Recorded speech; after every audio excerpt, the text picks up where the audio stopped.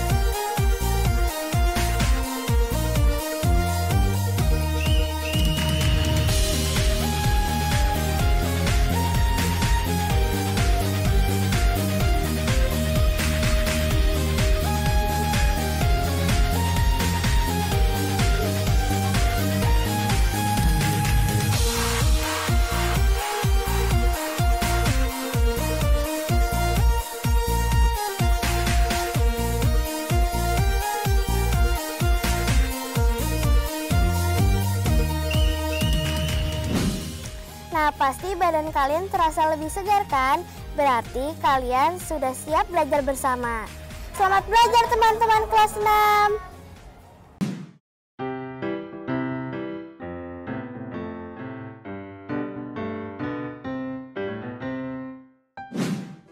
Halo teman-teman kelas 6. Hari ini kita akan belajar bersama di rumahku. Tapi aku nggak sendirian loh. Ada Gita di sini. Oh iya, kali ini kita akan belajar tentang lini masa mobil di dunia. Nah, kita juga akan berlatih konsep rata-rata. Jadi, jangan lupa siapkan buku catatan kalian ya. Dan jangan lupa berdoa ya teman-teman, supaya kita bisa fokus memahami pelajaran kali ini. Selamat belajar teman-teman kelas 6. Sudah kenyang? Sudah? Kita bersihkan tangan pakai hand sanitizer dulu yuk.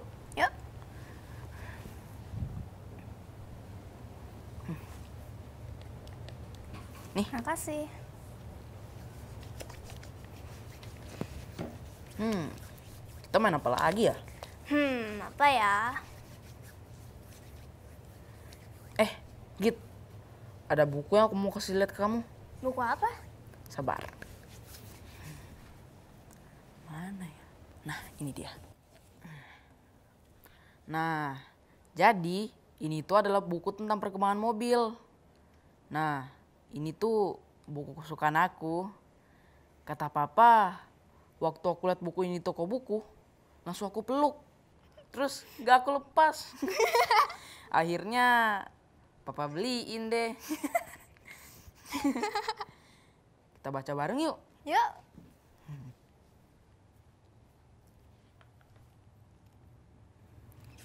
Oh, jadi dari kecil kamu memang suka ya sambil mobilan? Iya, jadi di sini tuh dijelaskan tentang lini masa mobil di dunia. Jadi kita bisa tahu mobil puluhan bahkan ratusan tahun yang lalu itu bentuknya seperti apa. Hmm. Eh, bentar. Ini beneran mobil? Kok bentuknya kayak mobil sih? Iya Git, ini tuh mobil Cuknot. Pertama kali ditemukan di tahun 1789. Wah, udah ratusan tahun yang lalu dong. Hah? Beneran? Ini mobil bermesin uap? Iya, jadi di awal penemuan mobil, mesin yang digunakan itu adalah mesin uap. Mobil kependekan dari automobil yang berasal dari bahasa Yunani, autos berarti sendiri, dan bahasa Latin mover yang artinya bergerak. Dari awal mobil Cuknot ditemukan sampai ke masa sekarang banyak banget perubahan yang dialami dari bentuk mobil, jenis mesin, sampai bahan bakar yang digunakan. Dan semuanya ada di buku ini, Rick. Iya, semuanya dijelasin di sini. Setelah mobil Cuknot, muncullah mobil berbahan bakar bensin. Oh, di buku ini juga tertulis tahun 1908 muncul mobil T buatan Henry Ford. Bentuknya semakin mirip dengan mobil-mobil yang ada di masa sekarang ya. Iya, bentuk mobil terus dimodifikasi dan dilengkapi dengan peralatan seperti kunci, sabuk pengaman, dan tempat duduk dari busa. Badan mobil pun dibuat dengan desain yang semakin modern. Wah, kamu keren sekali bisa hafal semua ini. Aku udah baca berkali-kali buku ini karena aku suka banget buku ini. Mesin uap dinilai tidak menguntungkan. Itu dilakukan karena dampak polusinya yang merugikan lingkungannya. Karena uap yang dihasilkan. Bukan gitu, Git. Alasan mobil Cukno tidak digunakan lagi karena tidak efisien. Mobilnya terlalu berat dan kecepatannya lambat. Dari semua mobil yang ada, kamu paling suka yang mana, Lik? Nah, kalau aku sukanya yang ini. Keren ya? Teman-teman, kau kan suka yang mana? Kira-kira teman-teman pilih yang mana ya? Wah, pilihan kalian bagus banget. Kalau kamu sukanya yang mana, Git? Hmm, kalau aku sukanya yang ini. Wah, menurut aku ini juga keren sih.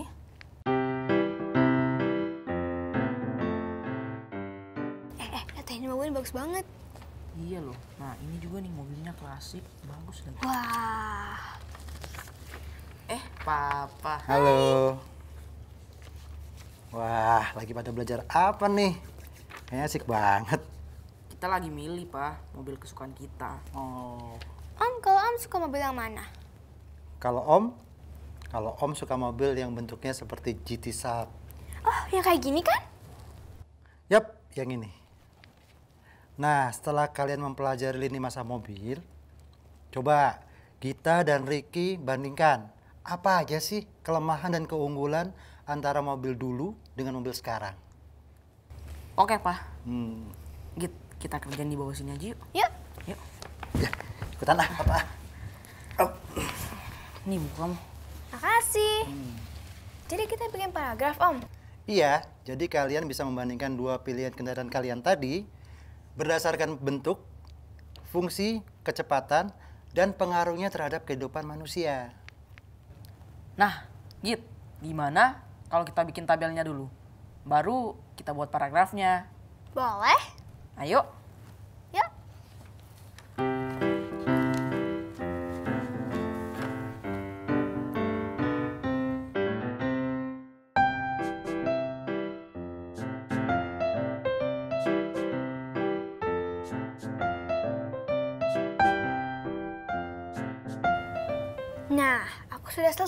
Tinggal kita isi aja kan?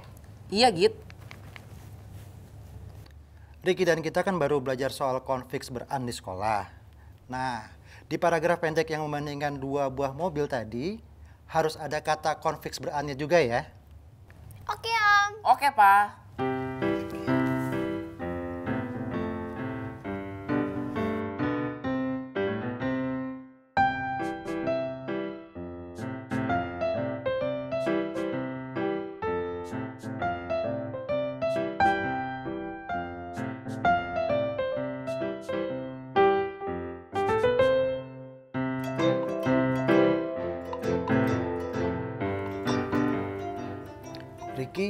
Kita belum selesai nih.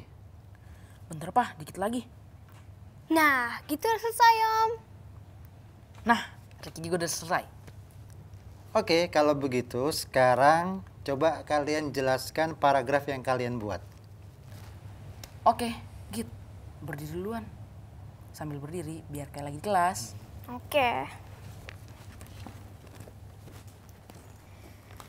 Jadi, ini paragraf buatan kami, Om.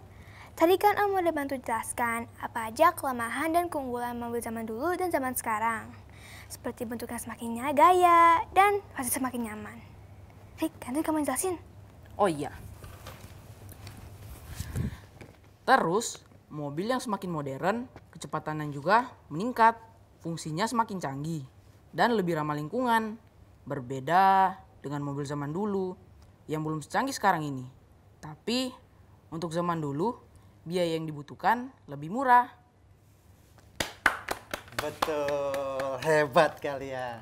Nah, sekarang waktunya membaca paragraf yang kalian buat. Kita dulu deh. Mobil kesukaan Papa Ricky adalah GT Sub. Kalau naik mobil tersebut ramai-ramai, penumpangnya bisa berdempetan karena hanya bisa diisi empat orang penumpang. Konflik seberannya yang mana kita? Berdempetan, Om. Berasal dari kata dempet dan beran di sini berarti saling. Betul, hebat kita. Berarti kalian sudah paham ya pelajaran konflik beran? Sudah. Oke, sekarang ayo giliran Ricky. Oke. Mobil sport yang digemari kita adalah memiliki bentuk yang sangat keren. Selain itu, mobil sport juga punya kecepatan yang sangat tinggi. Layaknya mobil pembalap yang sedang berkejaran di lintas balap. Konflik berannya ada di kata Berkejaran, Pak. Yang artinya saling kejar. Betul, hebat Ricky dan kita sudah paham sekarang. Tapi artinya kok sama-sama saling? Coba kalian sekarang kasih ke papa konflik beran yang lain. Misal seperti yang artinya terjadi secara berulang. Hmm, berjatuhan, Om. Benar kita. Hmm, kalau yang artinya banyak pelaku? Berlarian. Benar, pintar kalian semua. Kalau begitu, Papa mau kalian membuat kalimat yang mengandung kata dasar berikut dengan konflik beran ya. Sebentar ya, Om. Aku ambil pulpen dulu. Teman-teman, ayo buat kalimat dengan kata-kata yang disebutkan ya. Oke, semua udah siap? Sudah. Sekarang kalian buat kalimat dengan kata datang, terus kata lainnya pegang, rebut. Oke. Oke, Pak.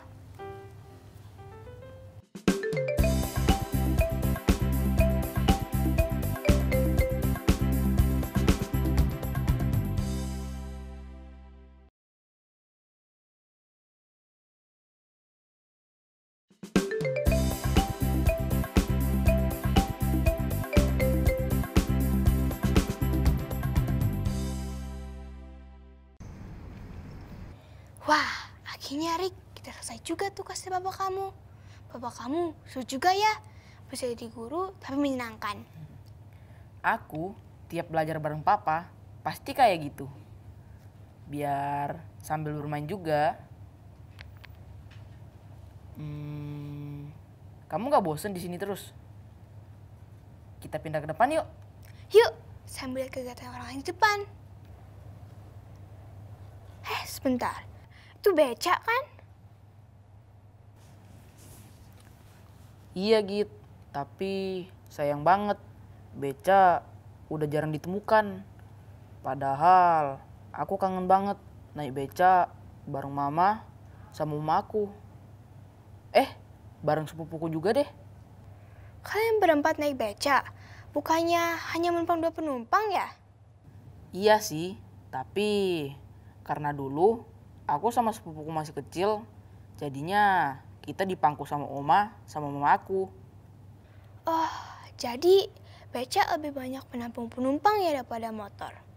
Coba deh bayangin, motor kan hanya menampung dua orang, satu pengendara dan satu lagi penumpangnya. Sedangkan sebuah beca bisa menampung tiga orang, dua orang penumpang, dan satu orang pengendara. Iya, secara jumlah kapasitasnya lebih banyak becak sih. Coba deh, kalau becanya ada 14, berarti jumlah orang untuk beca sebanyak itu berapa?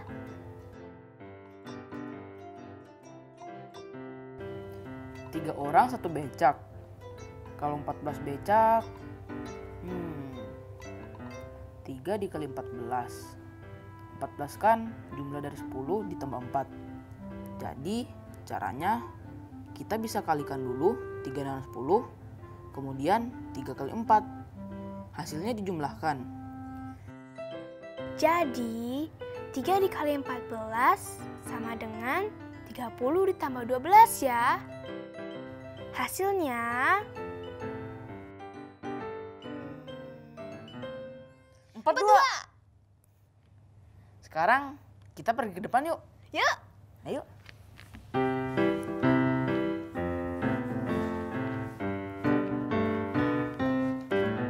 Ya.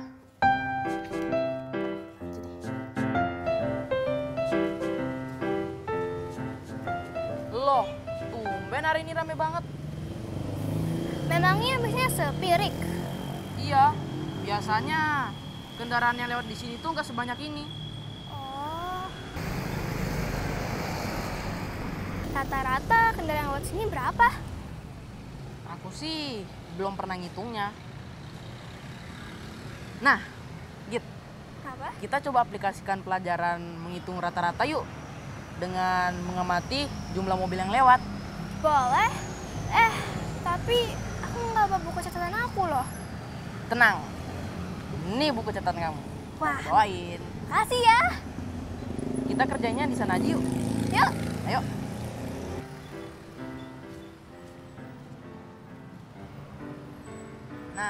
Sini aja ya.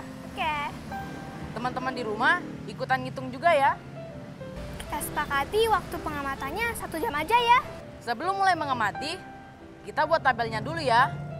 Untuk menulis jumlah kendaraan yang lewat di setiap 10 menit. Seperti ini.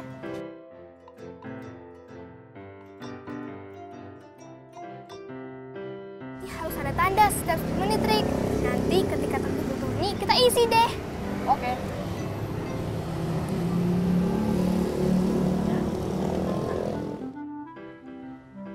Ricky dan Gita sedang melakukan apa ya di depan gerbang?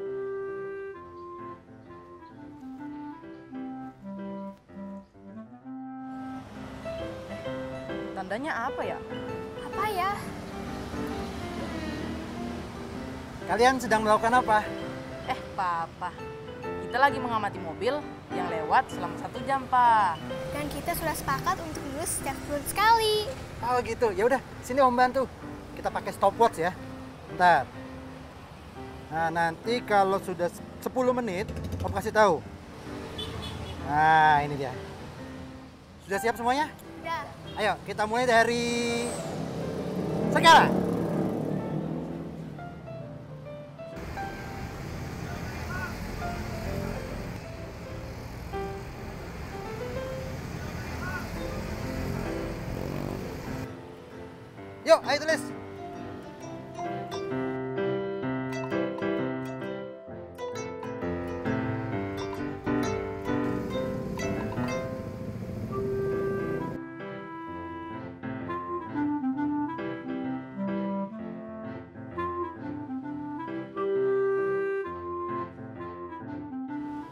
Selesai. Sudah 6 kali 10 menit. Jadi bagaimana perhitungan kalian?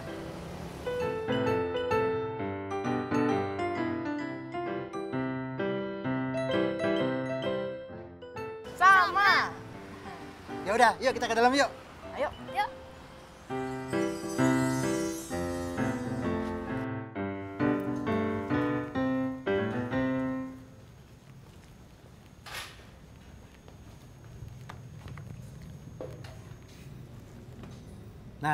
Sekarang Papa punya pertanyaan soal pengamatan kalian tadi. Tapi jawabannya ditulis di buku catatan ya. Oke, Om.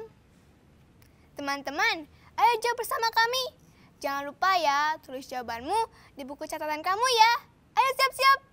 Pertanyaan pertama, berapa lama kalian melakukan pengamatan mengenai jumlah mobil yang lewat di depan rumah? Satu jam, Pak. Tadi kan Papa bilang, jawabannya harus ditulis di buku catatan. Oh iya. Oke, pertanyaan selanjutnya. Di menit berapa mobil yang paling sedikit lewat dan di menit berapa mobil yang paling banyak lewat di depan rumah? Hmm. Oh iya. Lagi yang pertanyaannya. Nah, ini pertanyaan yang terakhir. Seperti tujuan kalian mengamati mobil. Berapa rata-rata jumlah mobil yang lewat di depan rumah setiap 10 menit? Oke, kita hitung ya. Pertama jumlahkan, lalu bagi 6. Sudah, Pak? Kalau kita udah selesai belum? Sudah. Coba Om lihat.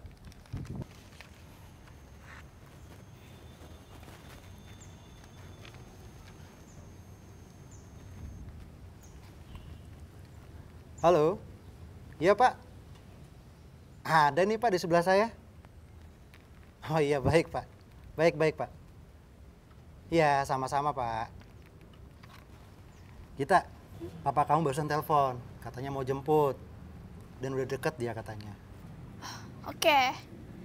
Ricky, aku siap-siap pulang dulu ya. Makasih ya udah banyak main ke sini. Om, makasih juga ya. Berkat Om, kita baca banyak banget hari ini. Sama-sama kita. Nih, buku kamu. Jawaban kamu benar semua. Kamu hebat. Oh ya, ngomong-ngomong hari ini kamu belajar apa aja sih? Banyak banget Om. Mulai dari lima masa mobil di dunia, kelengkap dan keunggulan kelemahan, dan Om juga ngajarin konflik beran. Terus, Kita belajar menghitung jumlah penumpang becak juga. Dan terakhir tadi, kita menghitung rata-rata mobil yang lewat tiap 10 menitnya. Wah, ternyata banyak juga ya yang kalian pelajarin hari ini. Kita lain kali belajar bareng lagi ya sama Ricky. Sama Om juga. oke. Permisi Pak, Ya Mas? papanya Gita sudah jemput. Oh iya, sebentar ya Mas. Kita, Papa udah jemput tuh. Ah, yaudah kalau gitu kita pamit dulu ya. Bye kita. Bye-bye. Bye. Dadah. Dadah.